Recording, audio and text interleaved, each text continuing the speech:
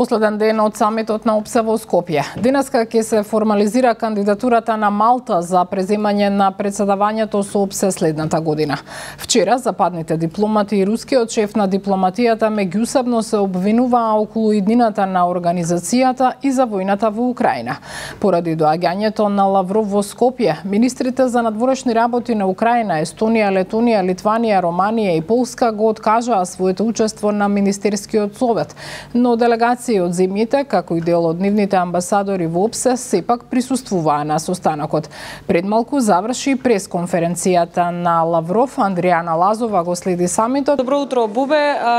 После она што ти го кажа, јас би рекла дека денешниот ден и пресконференцијата на Лавров е практично продолжение од она што се случуваше на вчерашната сесија каде што говореа министрите за надворешни работи собрани на едно место овде во Скопје, каде што практично говореше и Лавров Лавров. А, она што а, вчера го кажа а, министерот за надворешни работи на Русија, практично денеска е продолжение и денеска на оваа пресконференција, а, која што би рекла предизвика а, многу а, голем медиумски а, интерес овде во Скопје, а, каде што присуствуваат бројни новинари, а, околу стотина новинари, а не само од Македонија, од Европа, 20 на руски новинари се присутни а, овде, а, така што на оваа пресконференција Русија практично тој го повтори оној што вчера го кажа во говорот дека според Русија официјалниот негов став е дека Западот е целосно виновен за она што се случува со организацијата и практично кажа дека се подлабока криза создаваат токму европските земји во ОПСЕ. Беше прашан за неколку работи од новинарите кои што беа присутни овде во спортскиот центар Борис Трајковски и за посетата на американскиот државен секретар секретар Блинкен, за кој што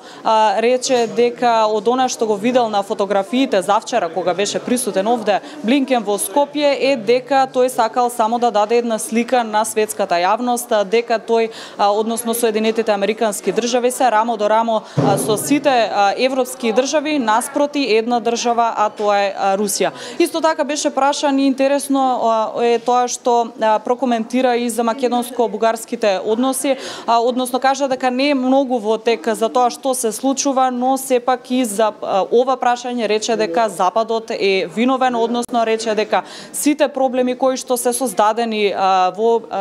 истори, историски наназад, сите проблеми на Балканот се е, има еден виновник, вели тоа е Западот. Во продолжение дел од изјавата на Лавров. Let me just express my regret that at the 30th session of the Ministerial Council of the OSCE, we find ourselves in a situation where this anniversary is not a reason to celebrate. We see a full downfall of everything that's been created and established by the OSCE, and before that at the CSCE, the Conference on Security and Cooperation in Europe we see a degradation of everything in all the three dimensions of security the military and political and economic and humanitarian and human rights dimensions. I will not give specific examples. Let me just say that we have firm proof